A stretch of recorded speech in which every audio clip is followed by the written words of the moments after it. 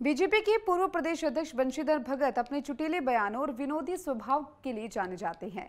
वहीं राजनीति में कुशल भगत अभिनय में भी कुशल है। अपने इस कौशल का इस्तेमाल वे शहर की रामलीला में बखूबी कर रहे हैं। ऊँचा पुल की रामलीला में राजा दशरथ की भूमिका निभा रहे हैं और भगत के अनुसार वे बीते पचपन सालों से रामलीला में अभिनय कर रहे हैं और उन्होंने हनुमान, रावण, राम, लक्ष्मण, भरत, शत्रुघ्न समेत कई पात्रों को अपने संबंधों से चरितार्थ किया है।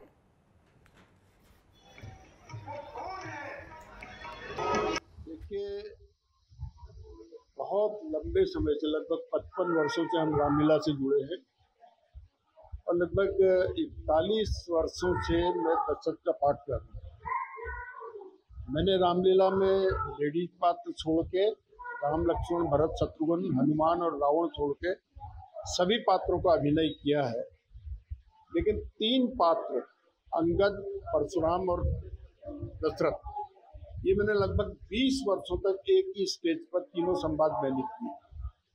फिर क्योंकि क्योंकि उम्र बढ़ गई तो अंगत युवा होते हैं तो अंगत का पाठ छोड़ा। फिर व्यस्तता के चलते परशुराम का पाठ छोड़ दिया।